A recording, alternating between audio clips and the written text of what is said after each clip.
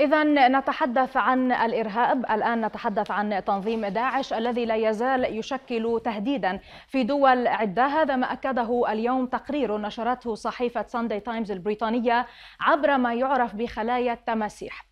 هي استتباع لاستراتيجية داعش في شن هجماته سابقا عبر ما يعرف بالذئاب المنفردة. الاستخبارات البريطانية كشفت أن خلايا التماسيح تمثل نهجا جديدا لداعش في شن هجماته. في الوقت الذي حذرت تقارير استخباراتية وصحيفة أخرى من احتمال شن تنظيم لهجمات جديدة في دول عدة.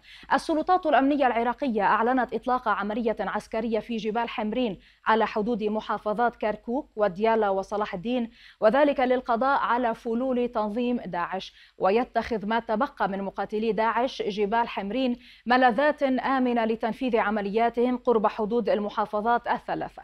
في سياق متصل حذرت وكالة الاستخبارات الألمانية من التقليل من شأن التهديد الذي يشكله تنظيم داعش بعد هزيمته الرسمية في سوريا وشمال العراق. وأوضح رئيس جهاز المخابرات الداخلية أن المنصات الإلكترونية التابعة لتنظيم داعش ما زال بإمكانها جذب مجندين على استعداد لشن هجمات على الأرض.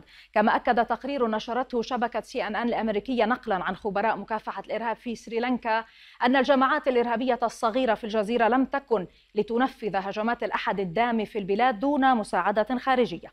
ونقلت الشبكة الأمريكية عن المحلل في مجال مكافحة الإرهاب بروس هوفمان قوله إن هجمات الأحد الدامي في سريلانكا تعد قفزة لداعش من حيث الحجم في القدرات التنظيمية واللوجستية بعدما نفذ عمليات إرهابية بعيدة عن المركز وتشير معظم التقديرات إلى أن الآلاف من مقاتلي داعش خرجوا من الخلافة بعد فقدان الموصل والرقة عام 2017 ومما يزيد من مخاوف استعادة داعش لقوته امتلاكه أرصدة بنكية تتراوح بحسب خبراء بين 50 مليون دولار إلى 300 مليون دولار. كما أن التنظيم لا يزال يحظى ببعض الدعم المعنوي والتعاطف خاصة عبر مواقع التواصل الاجتماعي التي يديرها التنظيم المتطرف.